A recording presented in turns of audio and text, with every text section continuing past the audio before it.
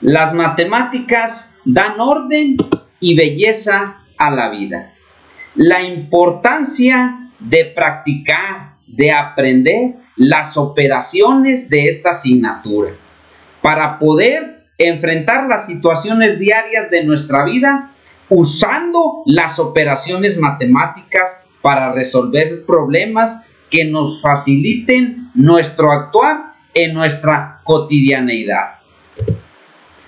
Buenos días mi gente, bienvenidos a su canal. Yo soy el profe Heraldo, una opción para la actualización y profesionalización docente. Les reitero que es muy importante que me dejen una duda, un comentario, una aportación, una sugerencia sobre estos videos, sobre este canal, para seguir mejorando nuestro, nuestro desempeño para ustedes. Se los agradezco de una manera especial. Déjenme un comentario, una duda. Recuerden que son indispensables para seguir aprendiendo juntos. El tema de hoy lo titulo Aprendizajes esperados para sexto grado respecto a la asignatura de las matemáticas. En el video anterior analizamos los aprendizajes esperados de sexto grado de español. Ahora corresponde a la asignatura de matemáticas para sexto grado. Les reitero que es indispensable tener a la mano, tener presentes estos aprendizajes básicos, estos aprendizajes esperados de la asignatura de matemáticas de sexto grado para focalizar las acciones y las actividades del docente, pero también del padre de familia y del alumno. Que todos estos, la comunidad educativa, estemos en el mismo canal y llevemos hacia el mismo rumbo los aprendizajes de los alumnos. Es indispensable que los conozca el docente, pero también que los conozca el padre de familia para encauzar las acciones para que los alumnos logren los mejores resultados. Iniciamos. Bloque 1. El eje es sentido numérico y pensamiento algebraico. Números y sistemas de numeración. El aprendizaje esperado es lectura, escritura y comparación de números naturales, fraccionarios y decimales. Explicitación de los criterios de comparación. Problemas aditivos. El aprendizaje esperado es resolución de problemas aditivos con números naturales, decimales y fraccionarios, variando la estructura de los problemas estudio o reafirmación de los algoritmos convencionales. Y tenemos en la imagen los problemas aditivos. Eje, sentido numérico y pensamiento algebraico. Problemas multiplicativos. Resolución de problemas multiplicativos con valores fraccionarios o decimales mediante procedimientos no formales los convencionales y procedimientos no formales. Los convencionales son los que marcan un algoritmo y los no formales son procedimientos que el alumno puede utilizar bajo sus propias habilidades para resolver un problema. Ambos procedimientos son válidos, sin embargo debemos irnos encaminando por los procedimientos convencionales.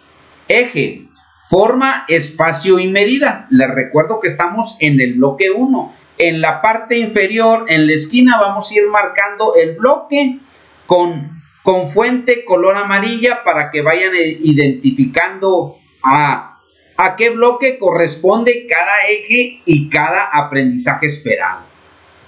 Figuras y cuerpos. Identificación de los ejes de simetría en una figura, poligonal o no figuras simétricas entre sí mediante diferentes recursos, ubicación espacial, elección de un código para comunicar la ubicación de objetos en una cuadrícula, establecimiento de códigos comunes para ubicar objetos. Y tenemos ahí en la imagen un triángulo escaleno, un triángulo isósceles y un cuadrado, donde se marcan los ejes de, los ejes de simetría, excepto el triángulo escaleno, que no tiene ejes de simetría. Eje, forma, espacio y medida. Medida, Cálculo de distancias reales a través de la medición aproximada de un punto a otro en un mapa y se realiza a través de una escala. Ahí lo podemos ver en la imagen. Eje, manejo de la información, proporcionalidad y funciones. Cálculo del tanto por ciento de cantidades mediante diversos procedimientos aplicación de la correspondencia por cada 100 n, aplicación de una fracción común o decimal, uso del 10% como base, análisis y representación de datos, lectura de datos contenidos en tablas y gráficas circulares para responder diversos cuestionamientos. Y ahí vemos algunas gráficas, diferentes tipos de gráficas que vamos a estar trabajando su análisis y su representación de datos. Damos inicio al bloque 2. Eje, eje, sentido numérico y pensamiento algebraico. Números y sistemas de numeración. Ubicación de fracciones y decimales en la recta numérica. En situaciones diversas, por ejemplo, se quieren representar medios y la unidad está dividida en sextos. La unidad no está establecida, etcétera. De esta manera vamos a hacer que sea complejo y que tenga grado de dificultad este ejercicio. Por eso menciona que se van a encontrar medios, pero la unidad está dividida en sextos o la unidad no está establecida. Para incrementar el grado de complejidad, recordemos que estamos en sexto grado. Problemas multiplicativos. Construcción de reglas prácticas para multiplicar rápidamente por 10, por 100 y por 1000, etc. Y ahí en la imagen tenemos una recta numérica donde van a ubicar la fracción en la recta numérica o el número decimal. Este es uno de los aprendizajes esperados en sexto grado. Continuamos y seguimos con el bloque 2. Eje, forma, espacio y medida, figuras y cuerpos, definición y distinción entre prismas y pirámides, su clasificación y la ubicación de sus alturas. Y ahí tenemos algunos ejemplos en la imagen, ejemplos de prismas y ejemplos de pirámides. Tiene que aprender el alumno a distinguirlos, cuáles son las características de los prismas, cuáles son las características de las pirámides y pueda identificarlos. Eje, manejo de la información, proporcionalidad y funciones. Resolución mediante diferentes procedimientos de problemas que impliquen la noción de porcentaje, aplicación de porcentajes, determinación, en casos sencillos del porcentaje que representa una cantidad del 10%, del 20%, del 50%, del 75%. Aplicación de porcentajes mayores que el 100%. Análisis y representación de datos. Lectura de datos explícitos o implícitos. Contenidos en diversos portadores para responder preguntas. Explícitos quiere decir que ahí aparecen, que los podemos identificar. Implícitos no te los dicen, ahí están, hay que descubrirlos. Y ahí en la imagen tenemos diferentes porcentajes, que es uno de los aprendizajes esperados que marca el sexto grado en la asignatura de matemáticas, poder encontrar porcentajes en casos sencillos de diferentes cantidades. Iniciamos el bloque 3. Les reitero que para tercero, cuarto, quinto y sexto grado seguiremos trabajando con el plan de estudios 2011. Y este plan de estudios divide los aprendizajes esperados por bloques en cinco bloques. Sin embargo, estamos evaluando por de manera trimestral, o sea, tres trimestres. Sin embargo, le reitero que están organizados por bloques. De ahí su importancia que de esta manera se los estoy presentando respetando el planteamiento del Planes y Programas 2011. El programa 2017 solo se está aplicando para los grados de primero y segundo grado, porque aún no se actualiza eh, lo que es para tercero, cuarto, quinto y sexto grado. Seguiremos trabajando de esta manera. Solo hago esta observación para que no vaya a haber confusión. Y entonces la organización sigue por bloques en lo que respecta de tercero a sexto grado de primaria. Iniciamos el bloque 3, eje, sentido numérico y pensamiento algebraico. Números y sistemas de numeración, identificación de una fracción o un decimal entre dos fracciones o decimales dados. Acercamiento a la propiedad de densidad de los racionales en contraste con los números naturales. Determinación de múltiplos y divisores de números naturales. Análisis de regularidades al obtener los múltiplos de 2, de 3 y de 5 y ahí tenemos algunos múltiplos y divisores en la imagen. Eje, forma, espacio y medida. Ubicación espacial, representación gráfica de pares ordenados en el primer cuadrante de un sistema de coordenadas cartesianas. Medida, relación entre unidades del Sistema Internacional de Medidas y las unidades más comunes del sistema inglés. Vamos a hacer equivalencias. Comparación del volumen de dos o más cuerpos, ya sea directamente o mediante una unidad intermediaria. Y ahí en la imagen aparece alguna una gráfica de los pares ordenados en el primer cuadrante que representa el sistema de coordenadas cartesianas.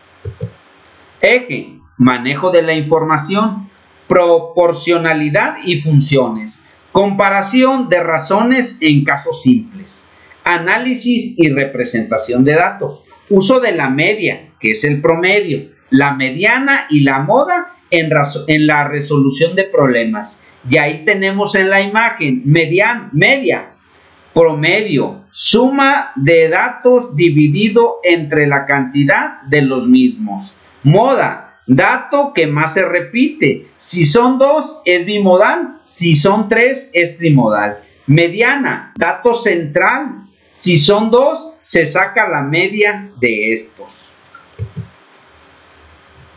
Iniciamos el bloque 4. Eje sentido numérico y pensamiento algebraico.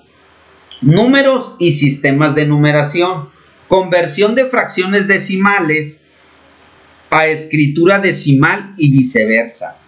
Aproximación de algunas fracciones no decimales usando la notación decimal. Identificación y aplicación de la regularidad de de sucesiones con números naturales, fraccionarios o decimales que tengan progresión aritmética o geométrica, así como sucesiones especiales, construcción de sucesiones a partir de la regularidad.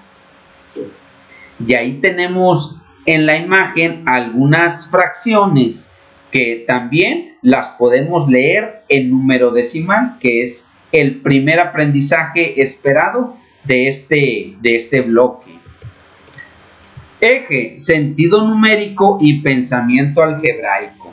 Problemas multiplicativos resolución de problemas que impliquen calcular una fracción de un número natural usando la expresión a sobre b de n. Y podemos verlo en el ejemplo en la imagen. Dos tercios de 12, ¿a cuánto equivale? Tres quintos de 20, ¿a cuánto equivale? Dos sextos de 36, ¿a cuánto equivale? Y son problemas multiplicativos que implican eh, fracciones. Fracción, una fracción de un número. Eje, forma, espacio y medida. Figuras y cuerpos.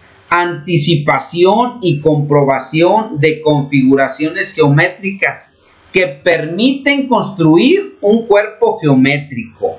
Medida, cálculo de la longitud de una circunferencia mediante diversos procedimientos. Cálculo del volumen de un prisma mediante el conteo de unidades.